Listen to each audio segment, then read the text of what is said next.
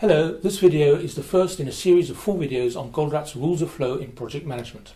In 1997, Eliyahu Goldratt published a book on the critical chain project management method, the project management component of the theory of constraints. In 2023, his daughter, Efrat Goldratt Ashlag, published the book Goldratt's Rules of Flow, the principles of the goal applied to projects. This work extends Eliyahu Goldratt's original concepts, refining them with 25 years of feedback of implementing the critical chain approach. This book proposes eight rules that can accelerate the flow of projects in your organization and which I will develop in this series of four videos with two rules per video. The first rule is avoid bad multitasking, control your WIP. I often talk about this. Marris Consulting developed a game in its critical chain training specifically on this topic. Multitasking prevails in project environments and it is probably the main cause of poor performance. The most effective way to reduce multitasking in your organization is to decrease the number of ongoing projects. Where the goal is not to do fewer projects, it's about doing fewer projects at the same time to reduce the volume being handled in parallel to complete projects more quickly and thus the throughput and quality of finished projects.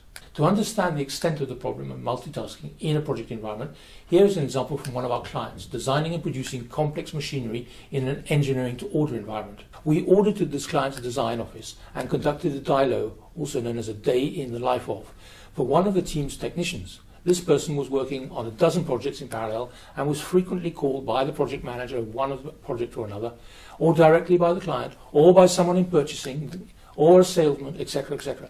He was also highly solicited by email or directly at his desk. What was the consequence? On average, the technician devoted six minutes to a design before being interrupted and moving on to another task. For a task as complex as the 3D design of a highly technical assembly working to within a micron in tolerance, six minutes is far too short. So we implemented the two for one rule at this client's office. A new case was only launched into the design office when two cases were completed, right? Two designs out, one design in. This had the direct consequence of quickly reducing the work in progress and thus the temptation to multitask between projects. Furthermore, project managers were no longer allowed to directly solicit designers. The department head acted as a guardian and relayed priorities directly to his designers, and this only once a day during a team meeting. The result?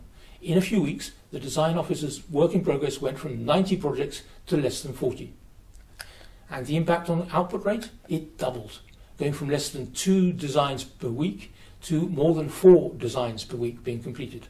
The design office, which was the bottleneck of this company, was unclogged just by eliminating bad multitasking. I use this case as an example, but many clients, especially our clients' bottlenecks, suffer from bad multitasking. In our experience, in all sorts of industries, the stages of product design, specification definition, or writing up reports and or documentation are particularly impacted by this issue. The quality of the work also improves dramatically if you reduce multitasking. In this engineering to order example, the company used to suffer from a lot of silly mistakes in the designs that were only discovered during the final assembly, such as forgetting something obvious in the bill of materials.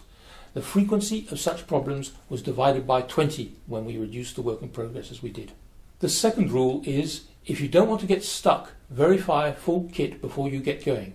This is what we call ensuring the full kit. It's common to start a task and be stopped dead in your tracks because an element is missing. So you might begin this task, sometimes trying to find a workaround to progress without having all the elements, then come back to it later and take two or three times the time it needed for its execution because something was missing. A recent example in production was the assembly of a complicated piece of aeronautical equipment for which the screws were missing. The client, not having the correct screws available, thought it wise to carry out a pre-assembly with other screws that when the correct screws arrived, the team had to dismantle and then reassemble the entire system. The same issue occurs in projects. A very common case is when the product specifications are not clearly defined, yet this element is one of the pillars of the design and the execution of a product. We had this case with the world leader in the luxury sector. Our client makes custom luxury handbags and wooden trunks for its customers.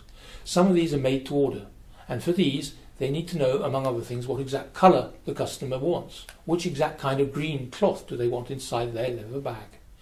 Without full kit, it was very common in this company for the design work to proceed and for it to be only very late in the process that the client was recontacted because the information was missing. The task is then put on hold, another activity is moved on to, and the project's flow is significantly slowed down. While in many cases the impact was minimal, required only a few adjustments. In some cases, the entire product design needed to be reviewed, or that new information required a supply chain delay much longer than standard deadlines, thus slowing down the downstream stages of the project.